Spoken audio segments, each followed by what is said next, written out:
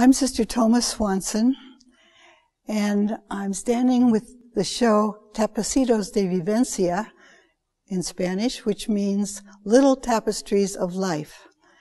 We are at the Martin de Porres Center in Columbus, Ohio. Uh, I was a professor of art at Albertus Magnus College in New Haven, Connecticut. And finally, it was my turn for a sabbatical. So I chose to go to Peru, where we had sisters who were working there as missionaries.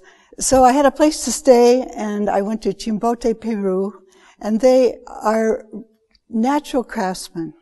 And as I saw the work in the museums and the work um, that they did just the handwork that, uh, that was uh, uh, visible and, and for sale in the markets, I thought it would be wonderful if I could come back and teach them how to make something that would be truly artistic and also saleable, and so that would uh, uh, help their economic status. So I went home, and in 1986 I came back to Peru with nine bags of art supplies and began to um, find women to look for them. And that wasn't too hard because the sisters who had been there already had clubs, clubs de madres, clubs of mothers. So starting with them, I invited those who were interested to um, to join me with this project. Uh, the drawings that you see here were made by the women themselves um, we had a little group of people who could draw, and uh, the word got out: if you can draw, go see Sister Thomas. So they came, and I had about four people who could draw.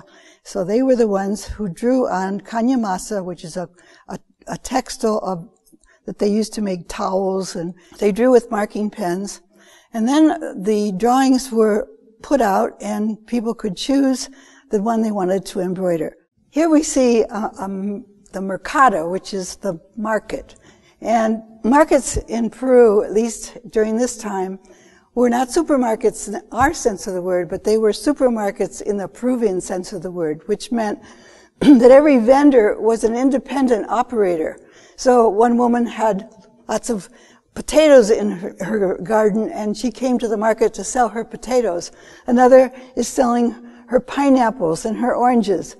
Um, here you see the fish. Fish are big in Chimbote because it's a fishing port, and there are many fishing boats that go out of Chimbote to fish.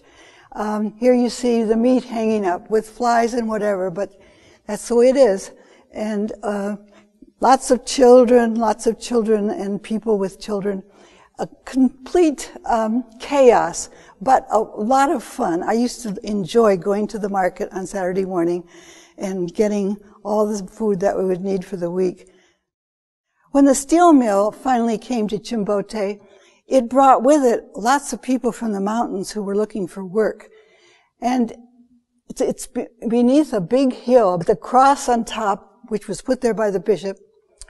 Uh, you can't tell much here, but this is the bucket. Here's the steel coming out and the people, the workers. This was kind of the thing that made Chimbote grow. Okay, here we have the rice paddy. Rice is a staple of Peruvians. They love rice, they grow rice, and here it is in the country outside of Chimbote, uh, which has a, the Santa River furnishes the water for the rice paddies.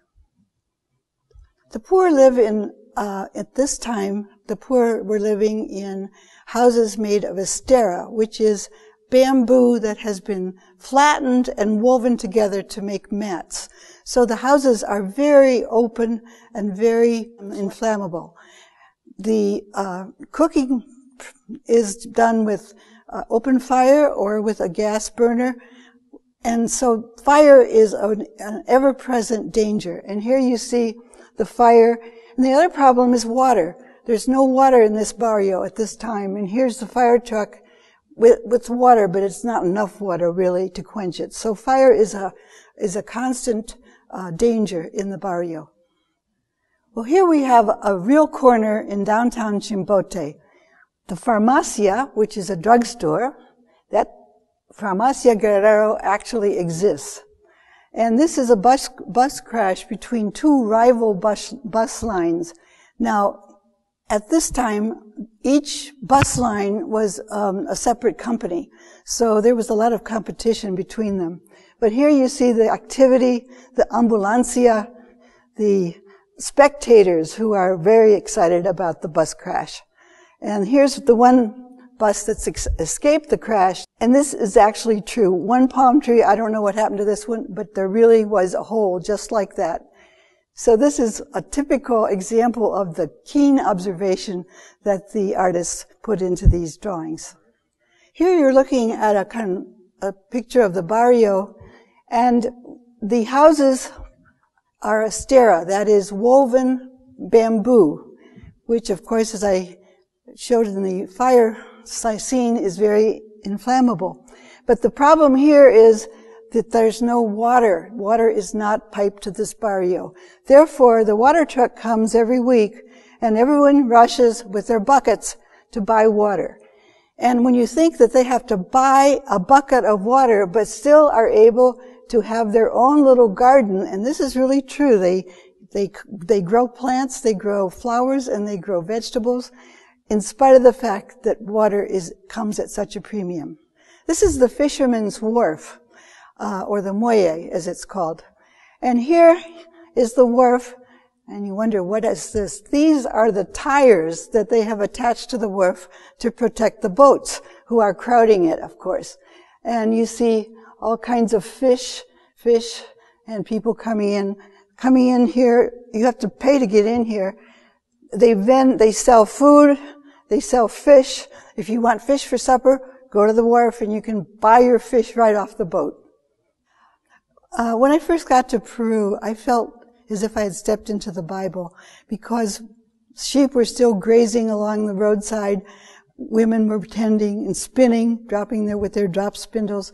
Uh, it just seemed like a, such a, a primitive society.